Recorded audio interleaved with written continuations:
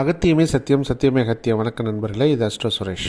தினம் ஒரு ஜோதிட தகவல் பகுதியில் இன்றைக்கி நம்ம பார்க்க இருக்கிறது கெட்ட வார்த்தை பேசக்கூடிய அதிகமாக பேசக்கூடிய ஒருவருடைய ஜாதக அமைப்பு எப்படி இருக்கும் அதற்கான விதிகள் என்ன அப்படிங்கிறத பற்றி நம்ம பார்க்கலாம்.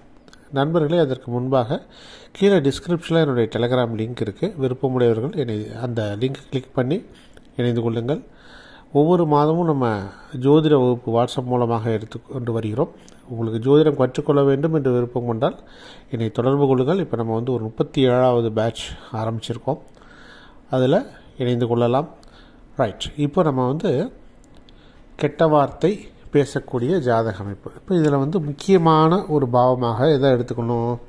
பேச்சு அப்படின்னாலே ரெண்டாம் இடம் ரெண்டாம் அதிபதி அப்படின்னு நம்ம எடுத்துக்கணும். அப்போ இந்த ரெண்டாம் அதிபதி பாவ கிரகத்தோடு சேர்ந்துருக்கணும்.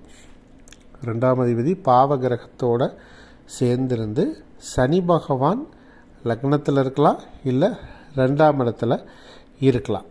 சரிங்களா? இந்த ஒரு அமைப்பு இருந்து செவ்வாய் வந்து அந்த இரண்டாம் இடத்தை பார்க்குற மாதிரி இருந்தது அப்படின்னா யாரையும் மதிக்க மாட்டார் ஜாதகர். கோவம்னு வந்துருச்சுன்னா கண்ணா பின்னான்னு பேசுவார். அதாவது ரெண்டாம் இடத்துல பாவகிரகம் இருந்து இல்லை ரெண்டாம் பாவக அதிபதி பாவகிரகத்தோடு சேர்ந்துருந்தாலோ சனி பகவான் லக்னத்திலேயே ரெண்டுலேயோ இருந்து ரெண்டாம் இடத்தை செவ்வாய் பார்க்கணும். அப்போ கடுமையாக பேசக்கூடிய ஒரு நபராக அவர் இருப்பார். சரி வேறு ஒரு விதி ஒன்று இருக்குது என்னென்னா செவ்வாய் ஆறாம் இடத்து அதிபதியாகி செவ்வாய் ஆறாம் இடத்து அதிபதியாகி அவரோட சனி பகவான் பன்னெண்டாம் இடத்துல இருந்தது அப்படின்னா ஜாதகர் அதிகமான கெட்ட வார்த்தை பேசக்கூடியவராக இருப்பார். பன்னெண்டில் சனி பகவான் செவ்வாய் ரெண்டும் சேர்ந்து இருந்து ஆறாம் இடத்ததிபதி செவ்வாயாக இருக்கணும். சரிங்களா? அதுக்கு அடுத்து இன்னொரு விதி ரெண்டாம் இடத்துல சனி பகவான் இருந்து நான்காம் இடத்துல பாவகிரகங்கள் இருந்தாலும் கோவம் வந்ததுன்னா கெட்ட வார்த்தை பேசக்கூடிய ஒரு நபராக அவர் இருப்பார். சரிங்களா?